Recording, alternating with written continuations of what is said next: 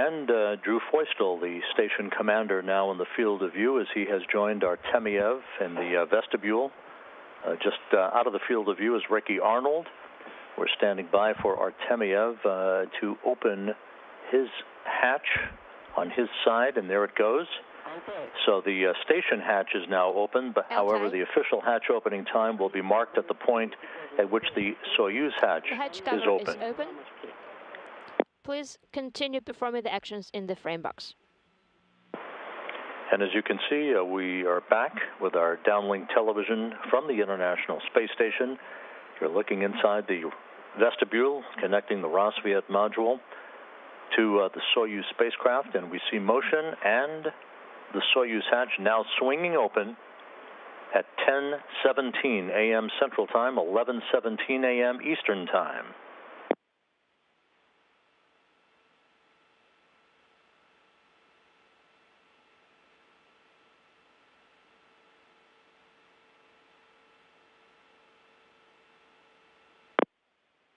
First in, Sergei Prokopyev.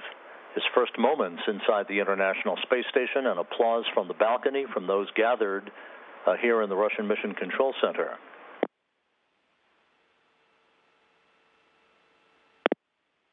Prokopyev uh, was the 231st human to board the International Space Station, followed by Alexander Gerst with a return trip inside the station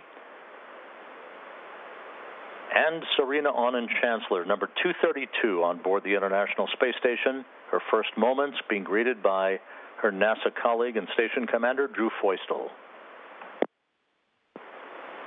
And with the six crew members in place, uh, our welcoming ceremony and congratulatory calls about to get underway. Station Moscow and Space Command 1. Go ahead. How do you read us? We have you loud and clear. Слышим вас тоже хорошо и видим. И передаем слово We can see you too. коллегам. And we're passing the floor to your colleagues and your family.